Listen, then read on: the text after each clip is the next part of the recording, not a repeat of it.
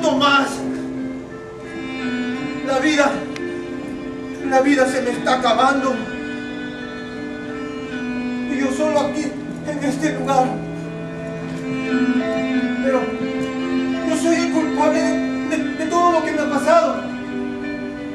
Me siento muy cansado. Necesito sentarme. Ay.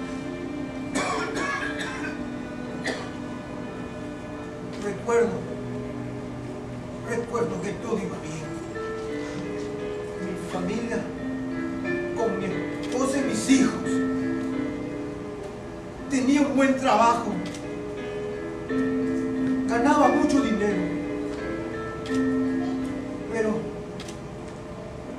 pero las malas juntas me llevaron a una vida desenfrenada de alcohol, pero de libertinaje sexual, con mujeres, con hombres. Mi esposa muchas veces me dijo que dejara eso, pero yo no le hice caso. Lo que hice fue abandonarlos. Dejé el trabajo. Creía que con todo el dinero que tenía podía hacerlo todo. Pero no fue así.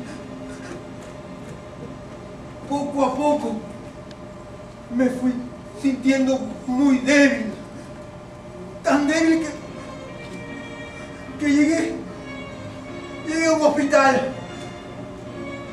Y allí, allí me hicieron varios análisis. Esperé no sé cuántas horas. Lo único que sé es que por allí vino el doctor. Lo vi con una cara de preocupación. Sentí angustia, temor. Y le pregunté, doctor, doctor, dígame, dígame qué es lo que tengo, por favor.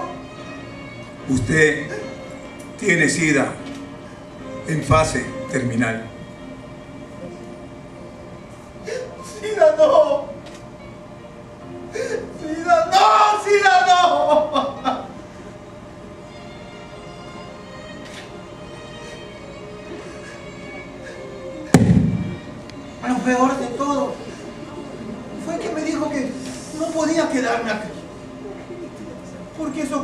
Lo podían aceptar. Tomé fuerzas y fui donde mi familia, donde mi esposa y mis hijos para que me ayudaran. Pero ellos no quisieron hacerlo porque tenían miedo a contagiarse. Yo les dije, por favor, ayúdenme, perdónenme si les, si les he. Tengan misericordia de mí, por favor.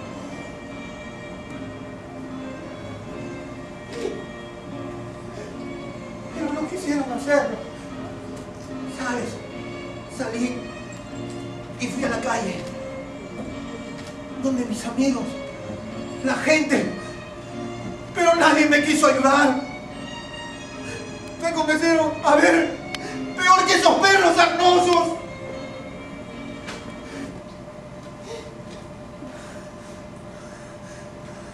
Por eso,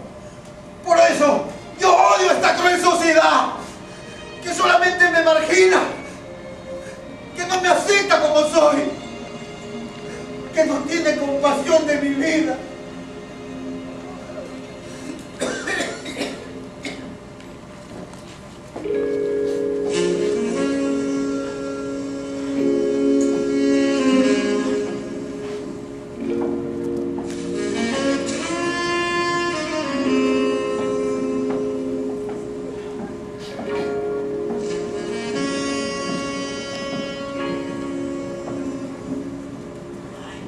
Pepito.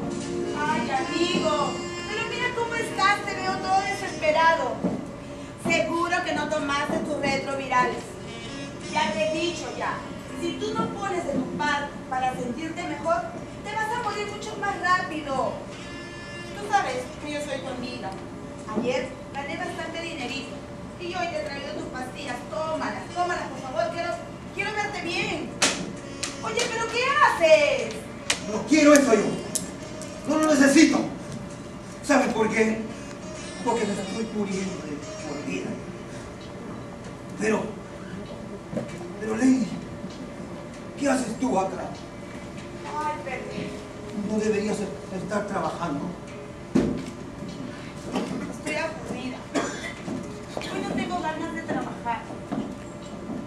Hoy es una de esas noches en las que los recuerdos me ponen triste y me hacen sentir muy mal por la vida que estoy llevando. Ay, mi tragedia empezó cuando era una niña. Mi madre, esa persona que me dio la vida, sí, ella, me la fregó, me arruinó. Una noche, noche llegó a casa, borracha como siempre, y lo acompañaba un tipo elegante y viejo. También estaba borracho. Lo que hacían allí me daba asco, me causaba indignación.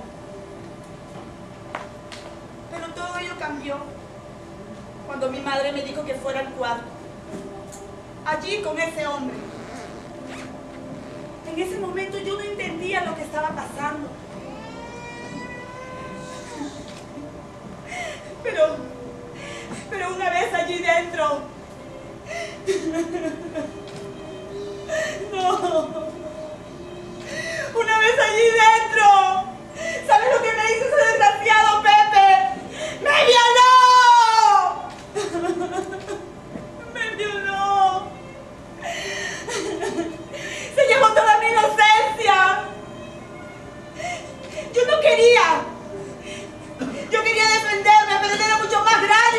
que yo y no pude hacerlo.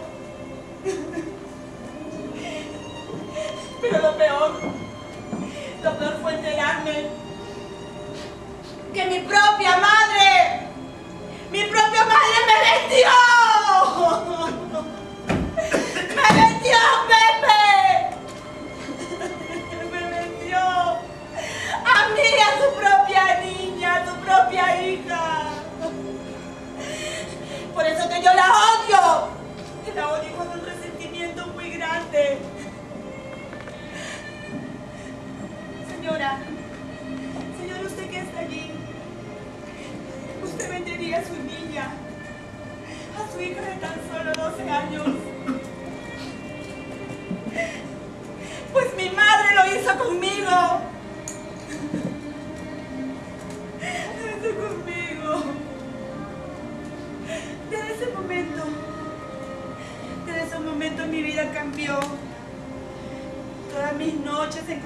un suplicio.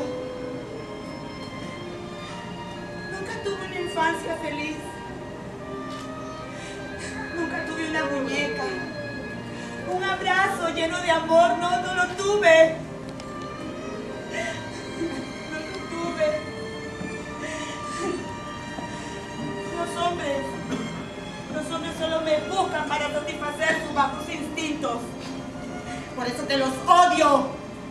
Creen que solo sirvo como un objeto para satisfacer sus necesidades sexuales. Y no es así, no lo es. Yo, yo he querido cambiar así. He querido hacerlo. He querido ser una mujer diferente, distinta. Así como tú. Que de repente tienes un lindo hogar. O como tú que estás allí. Que tienes hijos que te llenan de amor y de cariño. O como usted, señora. Que tiene un esposo que te ama y te valora como mujer. Nadie, nadie me ha ayudado. ¿O acaso? Dime, ¿acaso tú lo harías? No. ¿Por qué? Porque solo lo que haces es criticar, es juzgarme por lo que soy.